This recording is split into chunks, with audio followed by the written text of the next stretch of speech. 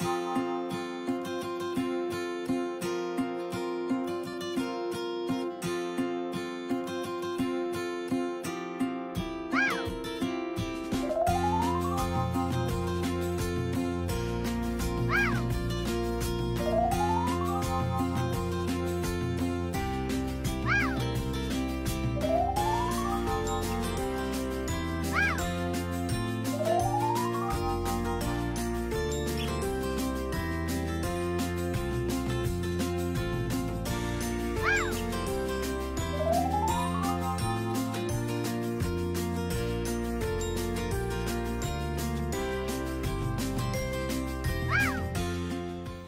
everyone, it's Terry and Evan in the Great Herbal Outdoors. We're going to try and tap this birch tree today for a little birch water or birch sap. Um, we're not sure where we are in the spring process because our weather has been very changeable, I should say. But we've got an uh, a drill here. Evan's going to try to make a small hole in this tree. Ready? Mm -hmm. We're aiming upward a little bit. Push hard.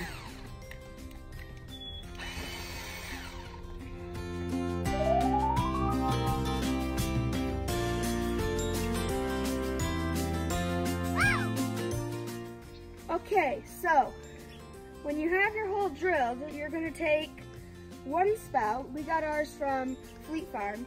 You're going to stick it in the hole. You're going to take a hammer and hammer it in until about on the line. And then it should start dripping. If it doesn't, hammer it in just a bit farther.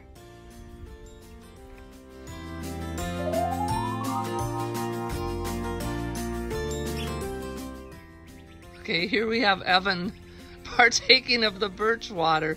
He doesn't like to lose a drop. And what we know about this is that many cultures around the world have tapped birch for its health properties, its healing qualities. We know that it was used as a spring tonic to detoxify the body. Um, birch sap, well, how would you describe what it tastes like? It tastes mostly like water, but just with a bit of sweetness. And I would add that when I taste it, it feels like there's uh, the coolness of a bit of wintergreen at the back of the throat.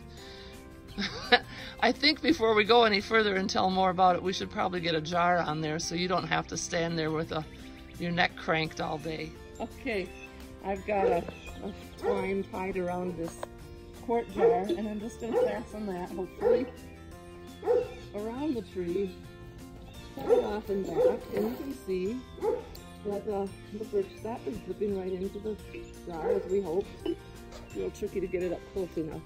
Now you would be surprised. It looks like one drip at a time, and indeed that's what's happening, but this jar fills up pretty quickly. If you walk away for an hour and come back and check it, you would probably be surprised how much liquid is in there. As I said, this is West Connacht. In many parts of Scandinavia, I'm still struggling to get this knot. Um, in Russia, there's a lot of birch forests. It can it is actually sold on the market in the grocery stores, birch water in the spring. Here we are. You can see how much liquid has collected in our jar in just about 10 minutes, one drop at a time, but it does count up. Now, when this jar gets near full, I would take it in the house and or put put this in another container, bring it in the house and refrigerate it.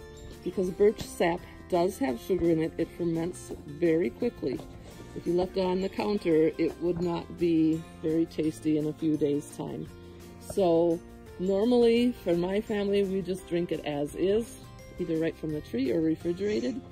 And other uses in other countries, they use it for actually making beer. Birch beer is a common thing. Or they can boil it down as much as you would for maple syrup. I've been told that it burns faster than maple syrup does, so it has to be watched quite carefully. And also that you need more of the birch water to make syrup than you would in a comparable amount of maple. So in our next clip, we're going to show you how to repair the damage we've done to the tree so that eventually the sap will stop flowing. We thought we'd like to show you how to repair this hole that we've made. But before we do that, we did want to say that we always ask the tree or a plant permission before we harvest anything, whether it's sap, leaves, flowers, roots. And we did receive permission from this tree. So now Evan is going to show you what we do to help this tree recover So and repair the hole we made. you take the spout out.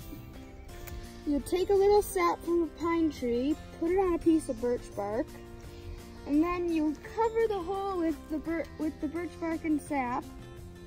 Now there might be a little bit of oozing, and it might not stick right away. You want some more sap? Yes, please.